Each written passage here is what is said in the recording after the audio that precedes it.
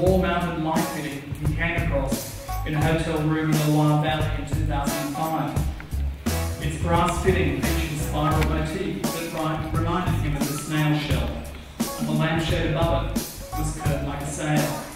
His typical dad's joke, as he remembered it, hey look kids, a snailing ship, got the groaning response it probably deserved.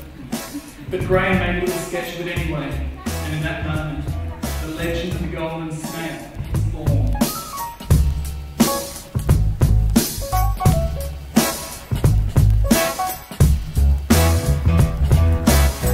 The whole book, if you haven't had a chance to have a look at it, please do. It's it's a really lavish book. It's big. It's rich. The pictures are really stunning, and the story is one of a true legendary adventure.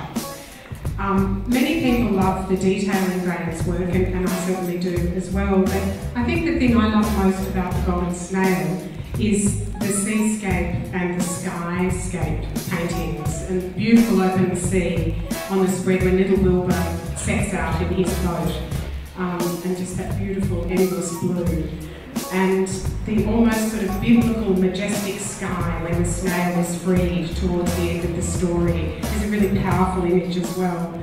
And I also think it's beautiful in this book and really effective the way Graeme has gradually changed the palette. And if you have a look around the room, or perhaps if you look through the book, it's, it's clearer that um, we go from the blues and the greens through reds and orange and sandy colours to sort of the dusky colours of sunset. And I think the sort of colour progression through the book is a real visual feast. It's just beautiful.